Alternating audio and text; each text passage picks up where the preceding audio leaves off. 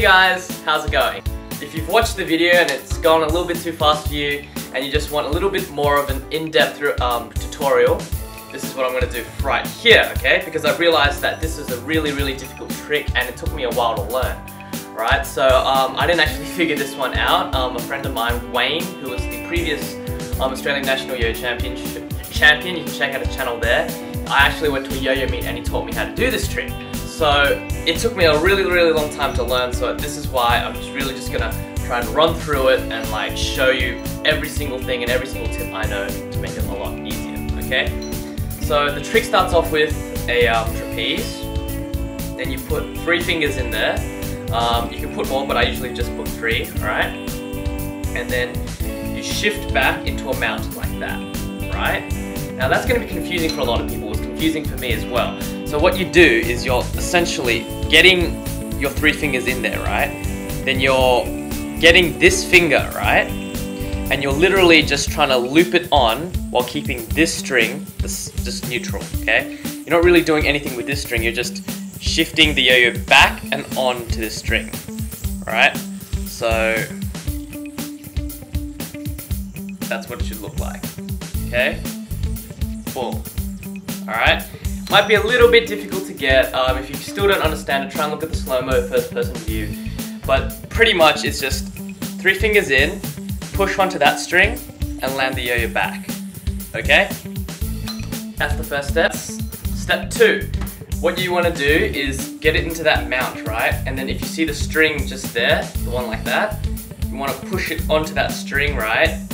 And then make your hands come out like that right? Now what you're gonna do from here is you're gonna flick the string off your thumb and then open up this loop here and catch it, alright? So three, two, one, like that, alright? I missed it, but that's generally what you're doing. So land onto the trapeze, I mean the mount type thing, land onto the string, flick off, open up, and then land, okay? Very difficult to slow down and break up, but I'm trying to do my best. Part three, now this is the hardest part and it's very, very difficult to understand if you can't see in slow motion. So pretty much the third part is land a trapeze, boom, boom, boom, right? What you're gonna do is you're gonna get your throw hand and you're gonna loop it around and then you're gonna let the string come off the thumb and then you're gonna open up this loop and catch it on top of that, right? Like so.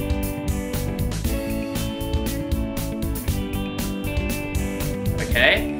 That was pretty difficult, right? But if you did it correctly, you should be in the same mount that you began with. So if you wanted to, you could literally make that part a repeater. Okay, so there, there, boom, and you should be back to where you came from. So you could do it over and over again, okay? The trick wasn't so hard.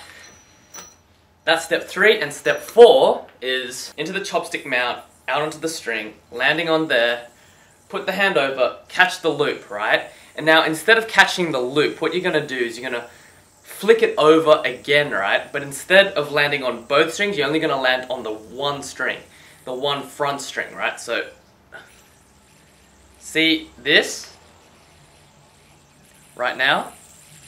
That's what it's like. And I'm going to be landing on that string there, right? Like so. And then that'll turn into a triangle, okay? So, again, start from a trapeze, turn it in, there, and then, whoops, land onto there, right? Then twirl that, catch it from the loop, and then this time, swing it over again and land on the front string, like so, right? And then after you bring it back, this string right here, so the yo-yo will look like that, just push it in there, and you have a triangle. You pop it out from the front. Okay, so it's a pretty difficult trick. It's a very, very difficult trick, in fact. Um, if you're not sound at chopsticks, I wouldn't recommend learning this trick, but yeah, it's very difficult. It took me a really, really long time to land in all the takes, so I'm just explaining the concepts behind it. Um, I can't land it with 100% accuracy, but very, very difficult trick. Very difficult to understand the concepts. Um, Takeshi Matsuura is a real genius when it comes to creating a trick like that. So yeah, if you like this, give it a thumbs up so you know you guys like and I can post more of it. And I've decided that Wednesdays are going to be my um, weekly upload day. So if you want to watch any of my videos, I'll always post it on Wednesdays every week, okay? So other than that, good luck and see you guys next time.